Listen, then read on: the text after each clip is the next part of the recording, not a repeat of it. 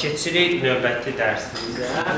Yəni ə, burada siz artıq dəyişənlər haqqında hər tərəfli, ə, yəni ətraflı məlumat aldınız. Yəni dəyişənlərin içində simvolları necə yazmaq olar və ya rəqəmləri necə yazmaq olar və ekrana da ə, necə çıxarmaq olar.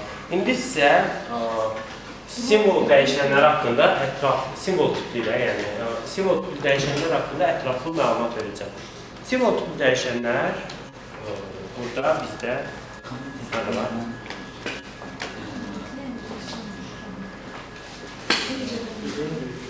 Hə.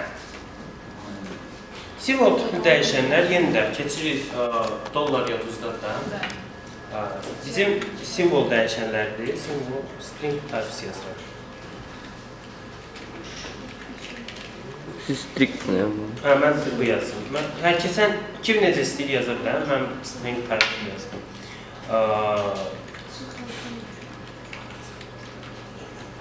Simvol tipli dəyişənlər yenə də yəni dəyişəni veririk. Bərabər iki dənə dırnağın içində yazılır. Və bunları ekrana çıxartdıqda simvol tipli dəyişənləri echo echo ilə göstərirlər. Məsələn, biz bunu yeniləsək, Xəzər Universiteti ekrana çıxacaq. İndi iki dənə simvol tipli dəyişənin birləşməsi haqqında göstərirəm sizə. Məsəl üçün, bizim bir dəyişənimiz var, adı Xəzərdir. İkinci dəyişənimiz var, adı Universitydir. Bunların adını qoyuram, tipi 1, tipi 2. Diqqətlə baxın. Aa, Məsələn, bax, simvol 1-i ekrana çıxardıram indi. Ekranı göstərirəm burasıdır. Ups. Səhvim var, burada nöqtə vergül. Standart proqramı səhvində nöqtə vergüllər. Ona görə olar kimi. Hə. Bax, simvol 1-i verdim, ekranda Xəzər çıxdı. 2-yi versəm ekrana nə çıxacaq? University. Hər kəsin adını və soyadını elə yazsın.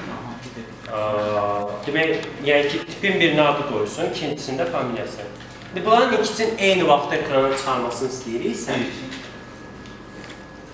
tələsmə. Hə. İkisini hə, eyni vaxtda ekrana çıxmasını istəyiriksə, bunların arasında nöqtə ilə ayrılır. Nöqtə ilə ayrılır. Amma, amma bir şey var. Fikir verin, bax. Tipin birini qoydum, nöqtə ikincini. Bu Xəzər Universitetini yazacaq ekranda. Amma indi görün minus nədir. Xəzər Universiteti yazdı. Sadəcə o görürsünüz orada bir-birinə birləşik yazıb. Və ya o sual vermişdi mənə, mən onu başqa cür həll etdim. Əslində bunun ən yaxşı həlli nədir?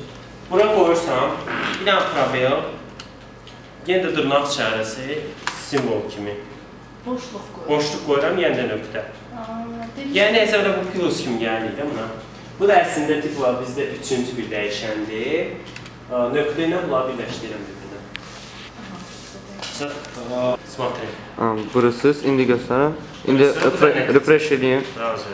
Aa, tamam. Bu ə, yazılmış string 1, string 2 ləri arasında nöqtə, yəni yenə bu əslində bu bir dəyişəndir bizdə. Nöqtə, bir dənə probel, yenə nöqtə ikinci o birisi dəyişənimizi birləşdirdik ona. Sual var? Sual yoxdur. Sən Если хочу больше одного пробела сделать. больше одного пробела? Это интересно. Потому что в HTML пробела не получается да, из этого.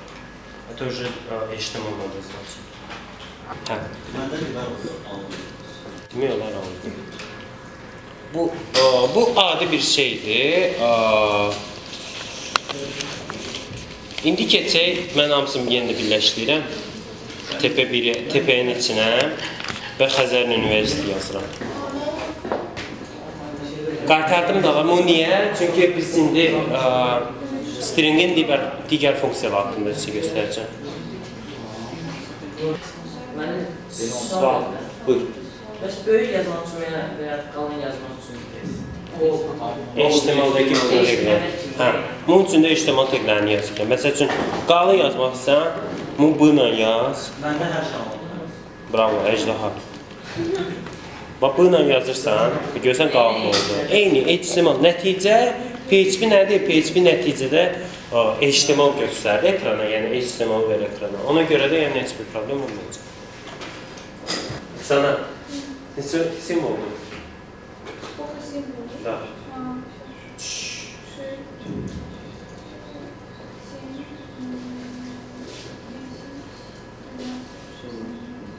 десять, семнадцать. Да, с проблем. Проблем. Да.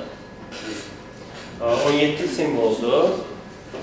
Yani PHP'de hem PHP'ye tiplendi, mən 37 sən boş oynatacaq. Ə, probellər və s. hamısı sayılır. Yəni hərəsi bir simvol sayılır. Biz əgər məsəl üçün istəyiriksə ki, ə, burada yazdığımız tekstin içindəki simvolların sayını öyrənmək ə, öyrənmək istəyiriksə, onun üçün PHP-də PHP-də strlen adlı funksiya var. strlen belə yazılır. strlen içində bu dəyişənimizi qeyd edəcək. E, echo edirəm ki, ekrana bir dəfə çıxartsın da nəticəni. String type. Bizim indi Aksanov sağ bizə dediyi rəqəmin bura ekrana çıxacaq. Aksanov necə demişdin? 17. Gördünüz? STR'dən funksiyası bizim yazdığımız sözün simvollarının sayını çıxardır. Kökü.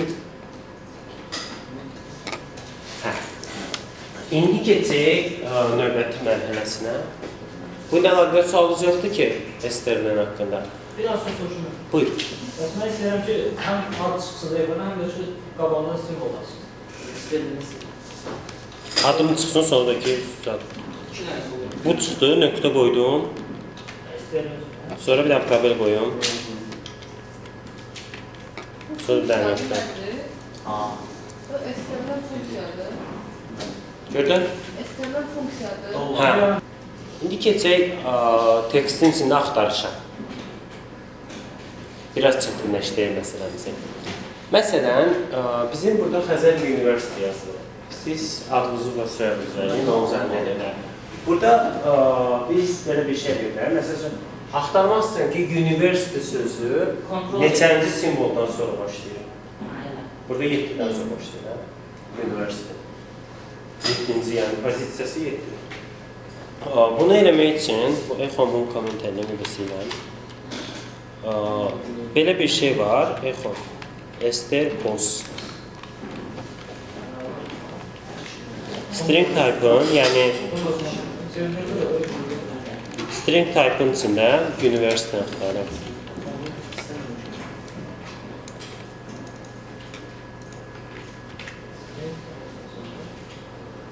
Yəni aa, bir ara Sterling, indi də Ster pos. Axtarır. Bizim verdiyimiz bunun içərisində yəni university sözünü axtarır və onun neçənci pozisiyadan sonra olmasını göstərir. Əgər bu dəyişənlərlə biraz başınız ağrıyırsa, bunu belə də edə bilərsiniz. İkisi eyni şeydir. Hə, mənə bir də. İkisi eyni şeydir. Belə də edə bilərsiniz, belə də.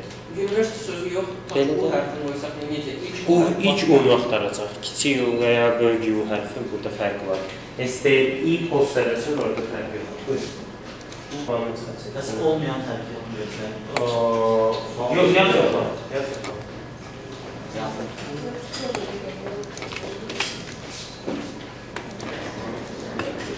Nəticə çıxmır olmayan.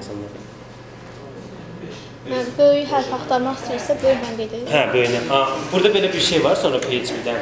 Məsəl üçün bax, U yazmışam da, U kiçik hərfdir. Universitetin içində U hərfi, amma böyük U var. Baxın, kiçik U-nu yazıram, tapmır. Böyük U-nu yazıram, tapır. Əgər kiçik U-nu da tapmaq istəyirəmsə, ester i pos yazıram, onda tapır. Orada case sensitive məsələsi var, yəni kiçik böyük hərflərin fərqi olmadan axtarır. O ester i pos axtarır.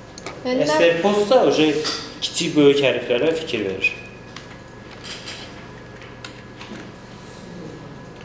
Bir dənə də şey göstərirəm.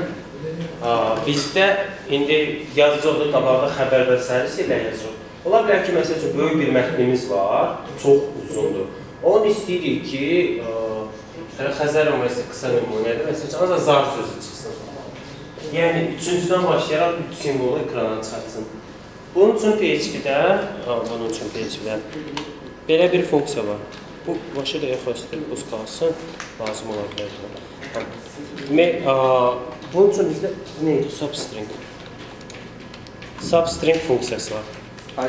Substring funksiyası edir? Verilmiş mətni verilmiş rəqəmdən başlayaraq verilmiş simvol istifadə ekrana çıxardır. Məsəl üçün 3-dən başlayaraq 5 dənə simvolu çıxardır.